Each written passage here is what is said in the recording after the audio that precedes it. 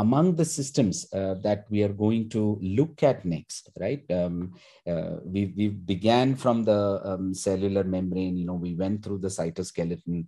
Uh, you know, we've talked about the mitochondria, and then we've now come uh, to an important set of um, intracellular organelles, um, which are referred to as the endomembrane system, and they're all here and when we see this, uh, you know, image later again, uh, you know, you will be able to recognize many of those uh, pieces as well, um, right? And um, and it's an important thought to have, uh, you know, when we think about the endomembrane system. Uh, the same thought that we've been, uh, you know, we've just discussed. which is, you know, why is this set up the way it is set up? you know, what kind of pros and cons this could have, um, and why not any other way? Right? Um, and um, so one important element to consider when we think about the endomembrane system is as the name suggests um, it's uh, en- it, it's it's made up of membranes um, and and membranes we are all aware um, are made up of lipids uh, and they have proteins and other components that are embedded in them um, and uh, it is an internal membrane system, right? So when you look at this cell, a lot of these players, uh, you know, in in in the cell, uh, apart from the mitochondria, um, are all part of the endomembrane system. Now, very clearly, they are membranes that are inside the cell um, and um, which have all come together um, in very distinct ways to to make um, organelle structures, right? Which uh, now do very uh, important and unique cellular functions. Um, and as this you know slice of a cell shows you, um, all of this connects to the plasma membrane, right? So, so it is highly possible that the evolution of the endomembrane system and the fact that the endomembrane system exists in the form that it does, uh, um, you know, is governed or is determined by the fact uh, that the, the cell boundary or the perimeter of the cell uh, is something that evolved as a lipid membrane, right? Um, and um, so the fact that that boundary of the cell, which is the interface between the cell and its external environment, uh, is made up of uh, membrane lipids, um, you know, means that things that have to be brought to the membrane delivered to the membrane uh, that need to talk with the cell membrane. Um, it will greatly benefit if these are integrated in, in lipid membranes, right? Um, and so the cell has evolved this uh, complex network of membranes that begin from the nuclear envelope, uh, you know, go to the rough endoplasmic reticulum, the smooth endoplasmic reticulum, um, and, and then to the Golgi, um, and then eventually to the plasma membrane. Um, and, and these are all uh, membrane bound organelles, right? Um, and one of the reasons uh, they exist this way is because they're the interface that they need to talk to, uh, which eventually uh, influences all of cellular behavior, uh, which is the plasma membrane, um, is also made up of membranes, right? So, so this is an interesting, um, uh, you know, point to consider that um, you know, whether these membranous structures would have existed had it not been for the fact that the plasma membrane is made up of lipids. Um, so the endomembrane system is essentially uh, many internal membranes in a eukaryotic cell uh, that, um, you know, play a vital role in regulating um, synthesis, processing, um, and delivery um, of proteins and other lipids uh, to specific parts of the cell.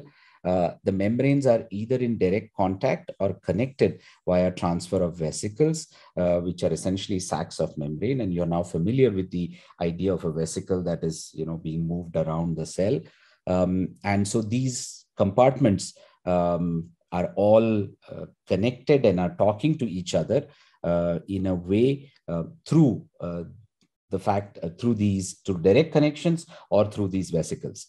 But the fact that they're all made up of membranes um, allows for uh, them to you know come in contact talk to each other communicate with each other um, and allows things to move through them in a way that would not have been possible otherwise Uh, in spite of these links, these membranes have diverse functions and structures.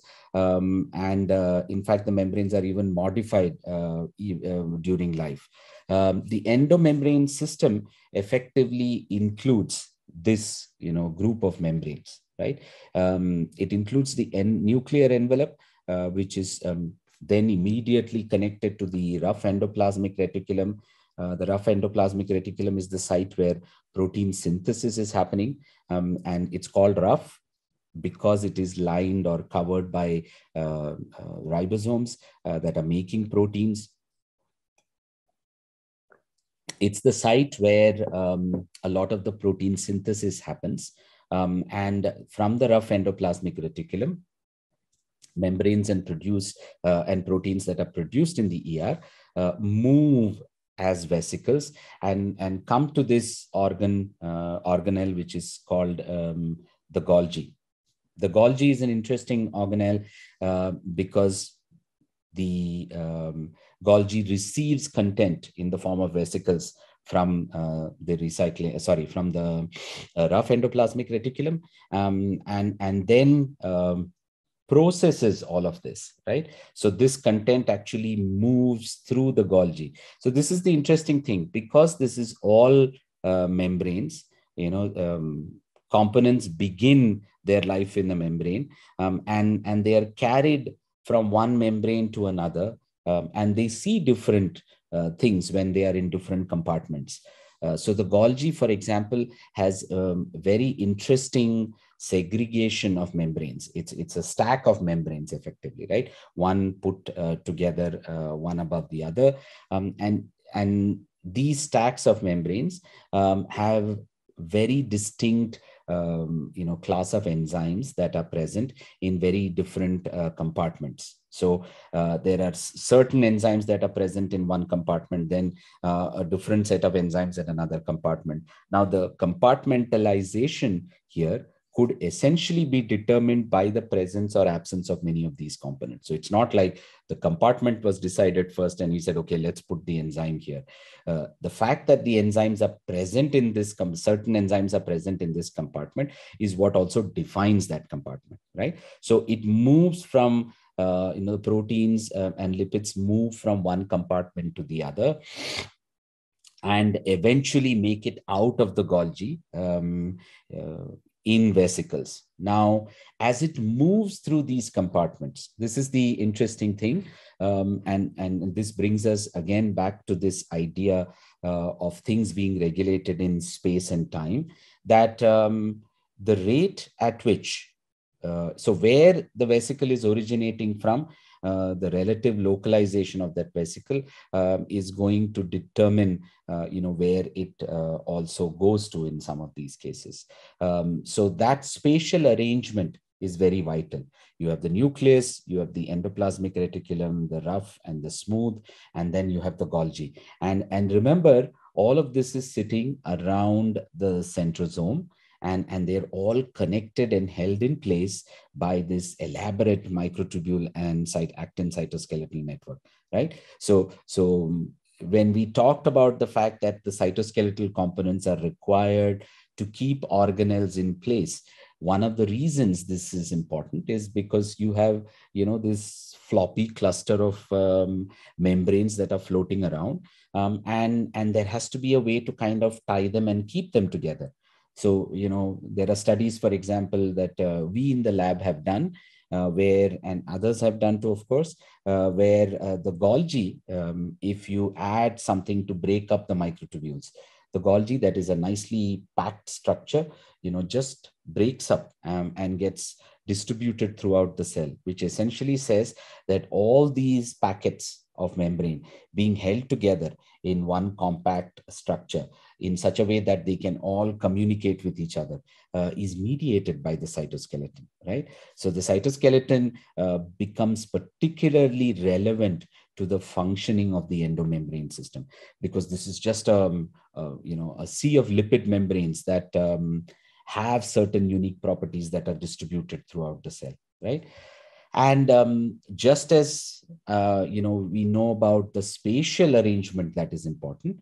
uh, the time something takes to go through these compartments makes a significant impact on how that uh, particular protein or lipid is processed right so um, the fact that um, a protein can start from one end of the golgi and make it through golgi compartments and and go all the way out from the other end um, it is seeing different enzymes as it goes through right? Not all enzymes will act on that particular protein. The protein has to have certain um, characteristics in its amino acids uh, which will say this particular enzyme can actually act on that protein.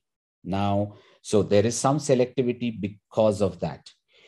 Then there is selectivity of course because of the fact that uh, how long the protein resides in one or more of these compartments could make um, a dramatic impact on how it is modified. So a protein, uh, for some reason, being stuck in one particular compartment slightly longer could change essentially the kind of modifications that it has um, and eventually can affect the functionality of the protein. So not only is where these proteins are originating and how they are moving important, uh, the rate at which they are doing this also becomes particularly important, right? So the, um, uh, the, the third member of this uh, series is the Golgi, um, and the Golgi also, uh, you know, pinches off, uh, of course, transport vesicles, things that are carried to the plasma membrane. Uh, that, but you know, these could also give rise to lysosomes and vacuoles. Lysosomes are available um, for fusion with other vesicles and play an important role in digesting, uh, you know, components, content that is present uh, in other vesicles. Uh, there are transport vesicles which carry proteins to the plasma membrane um, and, uh, you know, come and fuse with the plasma membrane and will now deliver stuff, right? Um, and the plasma membrane obviously um, acting as, um, you know, the perimeter of the cell uh, but not just that, uh, it also acts as a place where uh, a lot of these components can be delivered um, and now will talk to the external environment. I think we spoke about this earlier, and this is another important um, you know, thought to have that when proteins are made, remember that finally when they have to be delivered, right, this protein uh, essentially has to be present in a form uh, that can be seen very clearly on the outside. So, uh, you know, I'm going to use this coin and just illustrate this where, uh, you know, if the, if the coin is, um, you know, to be displayed uh, like this, right, um, and this is uh, where it is I hope you can see it, right? Um, and this is how it should be displayed on the plasma membrane. Imagine when it comes in a vesicle, uh, it's actually inside the vesicle, most of this protein. So what is eventually going to be out is actually in. And if the protein is a transmembrane protein and there is a part of it sticking out at the other end, uh, you know, uh, this end is going to be inside, right? So you have this protein that's in a vesicle. It comes and fuses with the plasma membrane and opens up and now the protein is present here in such a way that it can talk to things from the outside right? So remember the orientation. When the protein is synthesized uh, the orientation is such that things that are eventually meant to be out are on the inside right and and this is how it moves as as vesicles from one compartment to the other all the way out to the plasma membrane, right? So, so that's the arrangement of the endomembrane system. Um, and um, this works in the context of the plasma membrane um, and uses this um, cytoskeletal network to drive everything. So even though this image, for example, shows the endomembrane system and all these compartments, uh, you know, talking to each other, none of that would be possible without the cytoskeleton. So on top of all of this, now you have to mentally superimpose the image of the cytoskeleton um, and the architecture of these endomembrane systems, the, their ability to talk to each other, um, you know, and carry stuff, process stuff is all mediated because of the cytoskeleton. Okay. And that's why these two components are very um, you know, integral to each other's, uh, you know, role in cells um, and work very closely with each other uh, to drive cellular function, right? So in, in the interest of time, we will stop here. next time, we will look at each of these components uh, in a bit more detail um, and talk a little bit about, um, you know, endoplasmic reticulum, uh, the Golgi, um, and all the other vesicular structures that come out from the Golgi, uh, right? So we'll stop here.